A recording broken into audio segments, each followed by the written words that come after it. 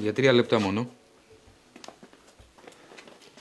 Μπορείς να μου πεις γιατί το κάνεις όλο αυτό; Και γιατί είπες στον Τάσο ότι θέλεις να με δεις; Πρέπει να σου μιλήσω. Να μου πεις τι, Άρη; Πάλι να μου πεις τις αλήθειες σου; Συγγνώμη, κατάλαβε με. Δεν είχα άλλη επιλογή. Είχες. Είχες. Άρη, θα μπορούσες να μου έχεις πει ακριβώς τι έχει συμβεί. Σε ρώταγα και σε ξαναρώταγα. Προσπάθησα να σου εξηγήσω. Με ένα γράμμα δεν είναι αρκετό να μου εξηγήσεις. Και μου έχεις πει να σε πιστεύω με ό,τι και να γίνει, ό,τι και να ακούσω, ενώ εσύ δεν με εμπιστεύεσαι καθόλου. Πρέπει να καταλάβεις γιατί το έκανα.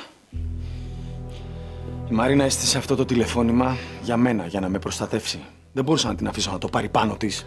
OK. OK, μη συνεχίζεις. Τώρα καταλαβαίνω πολλά. Σε είχα ρωτήσει τι μου κρύβεις και μου είχες πει τίποτα. Αλλά τι να μου πεις. Τι θα μου έλεγες. Ότι η γυναίκα σου σ' αγαπάει τόσο πολύ που έφτασες σε σημείο να κοροϊδέψεις την αστυνομία για χάρη σου. Ότι εσύ αγαπάς τόσο πολύ τη γυναίκα σου που μπόρεσες να μπεις φυλακή για να την καλύψεις; Ή ότι τόσο καιρό, όλο αυτό το διάστημα μου πουλάς ένα παραμύθι; Δεν σου έχω πει κανένα ψέμα. Όταν μου λες τη μισή αλήθεια, Άρη, είναι ψέμα. Ό,τι σου έχω πει ισχύει. Δεν μπορούσα να αφήσω τη Μαρίνα να τιμωρηθεί για κάτι που έκανε για μένα. Αυτό όμως που νιώθω για σένα δεν αλλάζει. Σ' αγαπάω.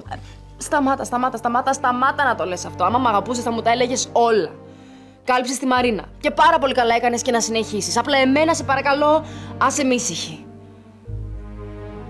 Ελπίζω να μην μπλέξετε με το φόνο του Θωμά.